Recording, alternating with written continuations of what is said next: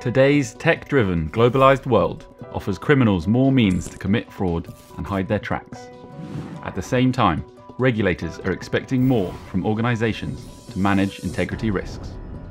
Organisations have a critical task to disrupt the increasingly complex fraud landscape and to instill trust with employees, customers and the broader marketplace. To do this requires an integrity agenda built on four pillars governance, culture, controls, and data insights.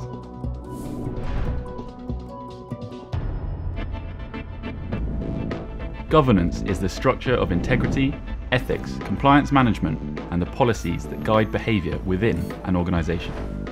If you don't get the governance right, gaps and risks will naturally appear. Employees and business partners will see this behaviour and follow suit. The integrity agenda requires consistent actions using a governance model known as the three lines of defence. First and foremost, the responsibility of the business leaders in demonstrating integrity in their day to day business decisions and setting an example. Secondly, compliance functions in helping to design and implement controls and systems to enable everyone else to do the same. And finally, internal audit providing an independent assessment of the effectiveness with which the organisation has fostered a culture of integrity.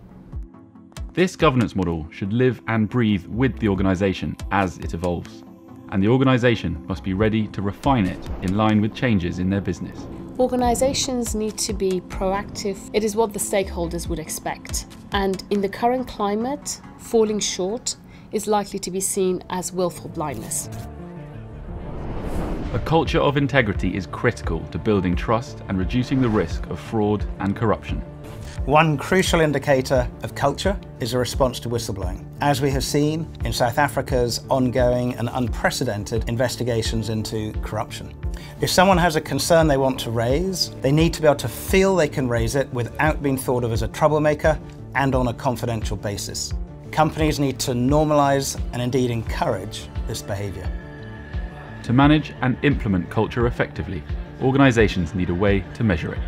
And it's only recently that advancements in technology have made this possible. Measuring culture requires a wide range of data. One source, for example, is employee satisfaction survey result.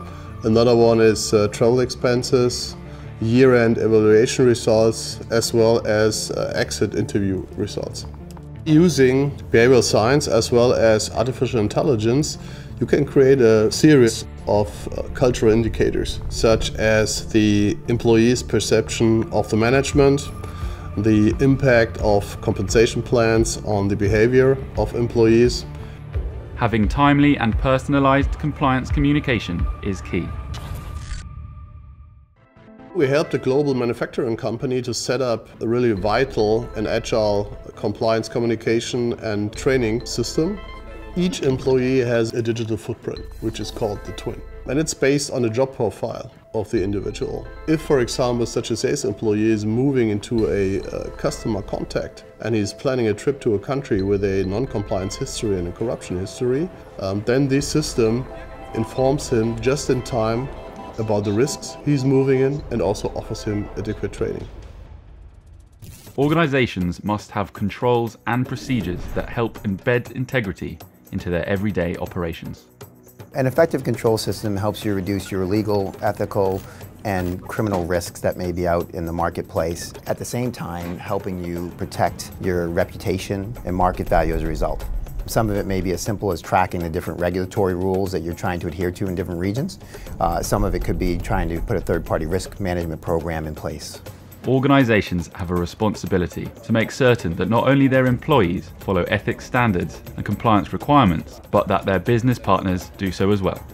Over the last year, we've helped a global pharmaceutical company put in an entire third-party risk management program. What sets this platform apart, it gives them more risk insights than they've ever had. These insights are split into two key elements. The first is the amount of data that's available to assess. It's not just looking at the company's internal data, it's also looking at a number of things that are available publicly. Could be court records, could be media reports, regulatory filings. The second one is being able to then harness that data. So what are you going to do with it? Uh, and using things like artificial intelligence and data analytics to narrow down, you know, what are those specific risks that you see with the data. Technology advances in AI and data analytics are helping humans to make better informed and better timed decisions. RPA technologies have enabled organizations to achieve operational agility by automating routine and repetitive tasks. This has resulted in the ability to deploy highly skilled workers on high-risk areas and strategic needs. AI and data analytics technologies cut through the data exhaust and generate transparency and consistency. Data-centric technologies are frequently used in market misconduct investigations, remediation and compliance surveillance. We assisted a tier one bank to establish a cloud-based trader surveillance platform. As part of that, we aggregated transactions that included client orders, sales, market pricing, and electronic communications. We built machine learning algorithms and data analytics to translate trading risks into behavioral patterns to detect market abuse. Data visualization is embedded into our case management system to enable users to perform market intelligence, statistical analysis, and transaction review. The outcome is an effective and efficient trader surveillance platform. Data insights are the foundational pillar of the integrity agenda in today's digital era. Data brings transparency and better ability to track and find fraud. It's extremely critical, especially in the emerging markets. For instance, you have the Ukrainian and the Indian governments, which are bringing in technologies like e-procurement to track and find data so that it can be analyzed. And it's extremely important from an integrity perspective. In emerging markets, where the risk of fraud is often perceived to be high, being able to harvest data from a variety of sources is improving the understanding of corporate risk. Harvesting data from different sources, like government interactions, third party vendors, employees, is far better than just following the standard checklist based approach. The insights from this data harvesting are far more valuable. Analyzing available information about violations and breaches can offer robust evidence as to the effectiveness of a compliance program. Crucially, you can determine whether the program is influencing corporate behavior and strengthening integrity. In short, data underpins the integrity agenda. Whether it's faster or more detailed feedback about governance and culture, or creating predictive models to future proof your business to become risk resilient. Think about the ability you are going to have to react to risks. However, increased use of data does raise the important question of privacy. Around the world, data protection and privacy are becoming increasingly important issues, protected by laws in places like the US and the EU. Data privacy laws are forcing everyone to relook at their compliance programs. It is forcing companies to audit their compliance programs to ensure that they're compliant with the data privacy laws. In this fast paced, ever evolving business landscape, companies know fraud schemes are increasingly complex and hard to detect. And yet, at the same time, both regulators and the public are holding companies to rising standards of integrity. Integrity needs to be embedded in mindsets and daily choices.